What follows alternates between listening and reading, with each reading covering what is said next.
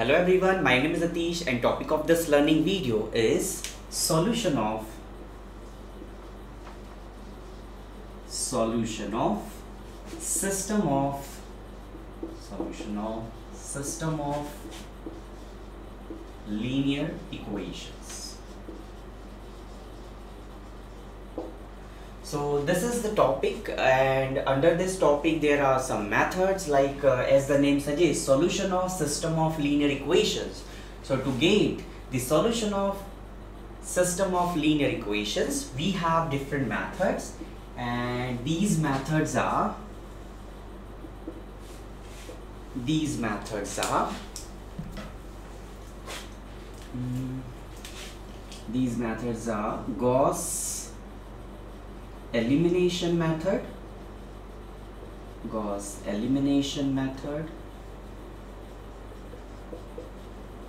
the second method is Gauss Jordan method.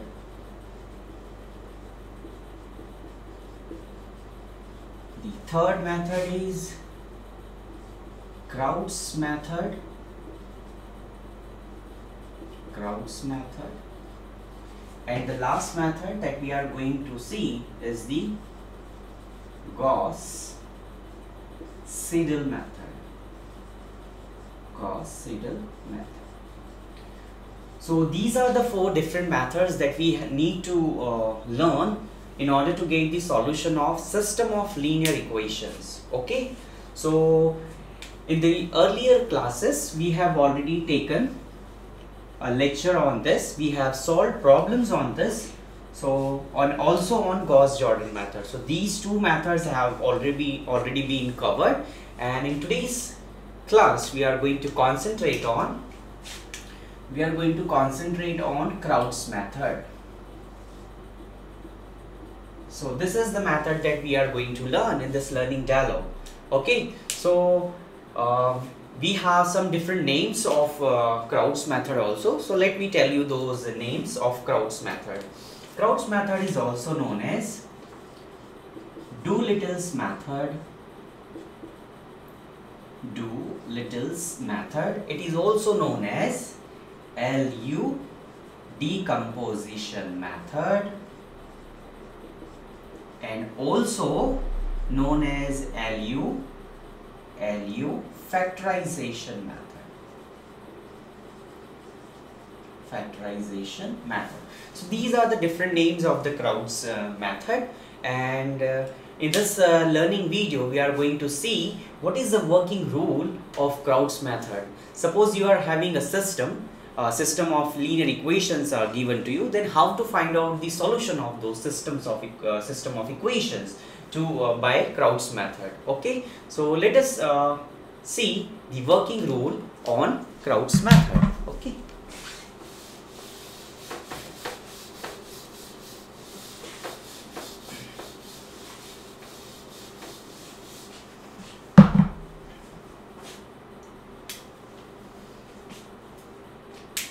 Working rule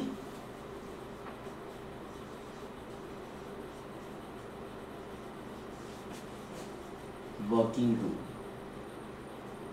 so I'm telling you the working rule of uh, method. So the very first step is you'll be given some system of equations. So you have to write down that system in matrix form.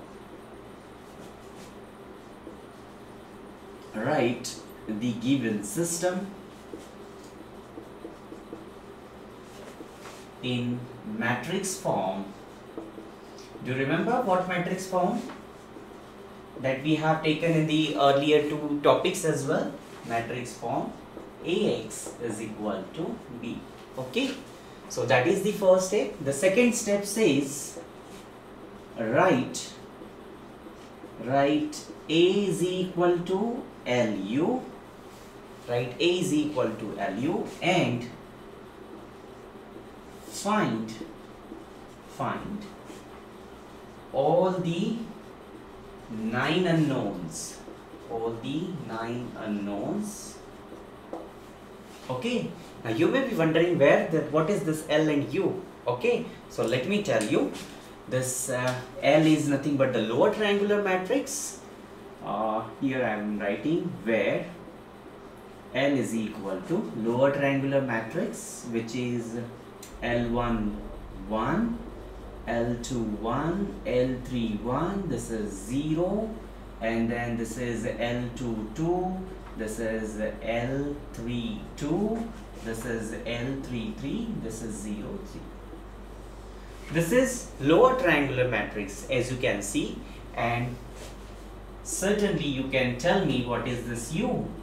This U stands for upper triangular matrix and what is that upper triangular matrix what is this upper triangular matrix? The upper triangular matrix is 1 1 1 U12 U13 U23 0 0 0 okay so this is L this is U and we are going to make use of these uh, uh, L and U in the problem solving also. Now as you can see in this L and U how many unknowns are there we have 9 unknowns. That is why I have written find all the 9 unknowns. 1 2 3 4 5 6 7 and 8 so we have to uh, use this equation because we'll be having a matrix uh, A and in the right hand side we have to multiply these two equation and then uh, equate okay equity is already there so just uh, equate the coefficient. Okay so we'll be getting the values of all these nine unknowns. Okay so once you get these nine unknowns your next um, step is to write down L and U. You just substituting the values of these elements. Okay now one remark I would like to make before we uh, go ahead in the step number three we just uh, you have to take uh, diagonal element 1 in the upper triangular matrix okay? Then and then only you'll be getting all the nine unknowns otherwise it will be just a mess okay? So this is the second step. Uh, write a equal to lu and find all the unknowns. Third step is step number three is about write l and u okay? Write. After finding out the all the unknowns nine unknowns you have to substitute all the values in here itself and write l and u okay? So next you have to solve uh, the next you have to write l and u and once you write l and u that completes your step number 3 now talking about step number 4 okay? So this matrix form suppose this is the matrix form say 1 and this is say equation number 2 now in the fourth step what you have to do? You have to make use of equation 1 and 2 use use equation 1 and 2 to get what you can do. See a is equal to lu when you put a is equal to lu in equation 1 what you'll be getting? A is equal to lu so lu x is equal to b lux is equal to b okay that is the that is the fourth step. Now let me tell you the fifth step. The fifth step is about uh, the arbitrary vector that you have to define. Okay so you just need to define define u x is equal to v. Where what is this u? U is this upper triangular matrix what is this x? This x is matrix of unknowns that we have to find out. X, y, z namely uh, or x1, x2, x3 and this v is an arbitrary vector that I have taken. It is of the type say v1, v2 and v3 okay? Suppose this is the vector. So we have to find out this vector. And to find out this vector we have to define ux is equal to v. Okay? And once you define ux is equal to v try to get and find vector v.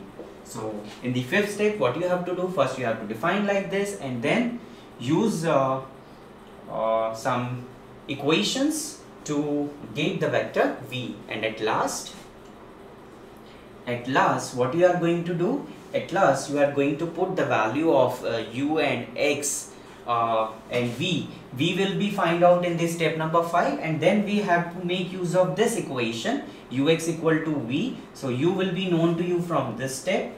V will be known to you from step number 5. When you substitute in this, so this is known to you, this is known to you. So what is unknown? x. What is x? x, y, z or x1, x2, x3 matrix of unknown to get the required solution.